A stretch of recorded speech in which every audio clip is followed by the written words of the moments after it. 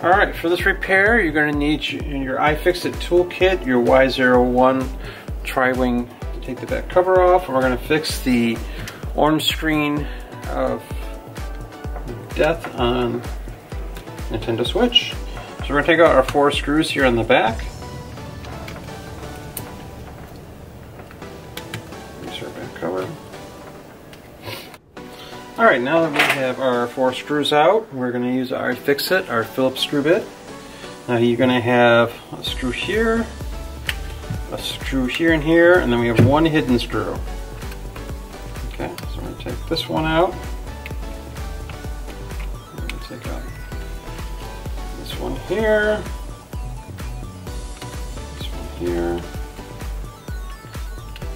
So stubborn. And the hidden one is going to be right here where the kickstand is right here. I'm going to take out the card here, memory card. And right down here, you're going to have your last screw. Okay. Also, now you have all the screws on the side right here. We actually only need the one in the center right there to be removed to get the back cover off. Okay. Same on the other side, just the one in the center.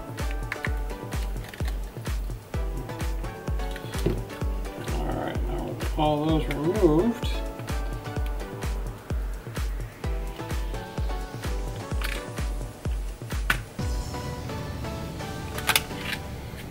We now have our back cover that off. See how dusty it is. All right, now what we're going to do is we have to remove all of the metal screws that are on here, okay, on the back cover.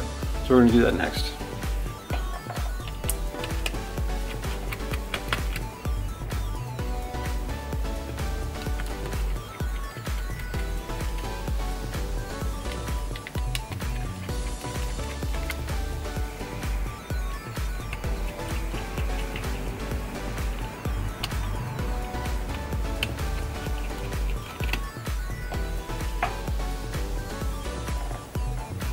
Here just removes. This one here just has a snap connector. This just has a connector sticks out. You can see that goes right in there.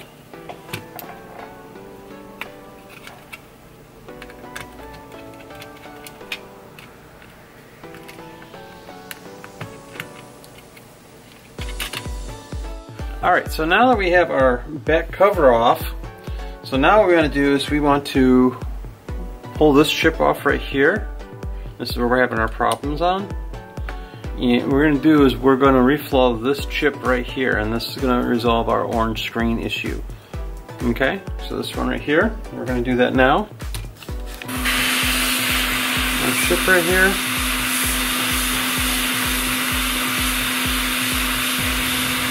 Increase this a little bit. Nice and toasty and get it right back into place.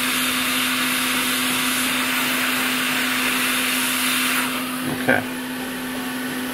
Now we're just going to let it cool down. There. And once it's cooled down, uh, we're going to put it back together the way that we just took it apart.